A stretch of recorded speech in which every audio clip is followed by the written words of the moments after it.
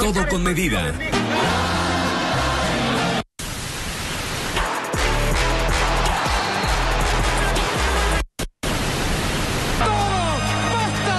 En Costa Rica no podremos tener esto hasta febrero o marzo del 2022.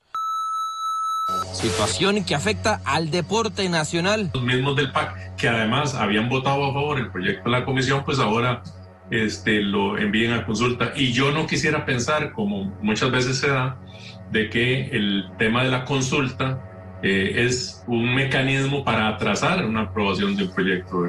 En algún momento tuvimos algunas ofertas donde el ingreso por que la liga nuestra se llamara el nombre de, esta cerveza. Y eh, el ingreso era importante, pero ni siquiera nosotros podíamos hacer una oferta, porque el momento en que nosotros hiciéramos el contrato, pues simplemente eh, el gobierno nos dice, ustedes están incumpliendo una ley. Que no hay estudios que digan que porque yo veo un anuncio de algo, yo voy a tener que consumir eso.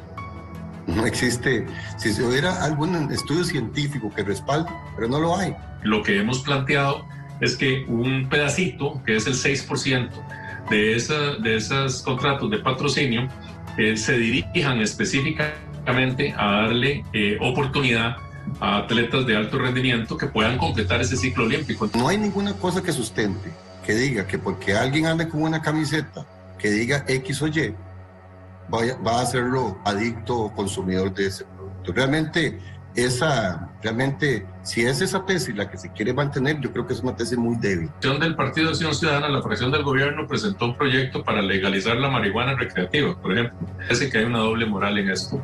Este, hay una incongruencia en posiciones si el candidato del PAC está planteando eh, esto dentro del apoyo al deporte nacional pues a mí me parece que sí, hay una doble moral. Muy lindo, como usted lo acaba de mencionar, de, decir que, interesante, qué bonito, vamos a, a, convocarlos a una reunión, una conferencia de prensa, salgamos en una caravana, pero de verdad que un atleta requiere mucho, requiere mucha preparación. Yo sí creo que esto es una discusión que el país debería superar como lo han superado muchos otros países. En realidad, eh, ustedes ven en Europa, ven la Champions, por ejemplo, eh, ven este, eh, las, en México las camisetas este, y en otros países centroamericanos, ven en los Estados Unidos ingresando no más, si no se convoca por parte del gobierno, ingresando no más en el mes de febrero, podamos votarlo en el, en el segundo debate y que se convierta en ley el mismo mes de febrero o marzo más tardar.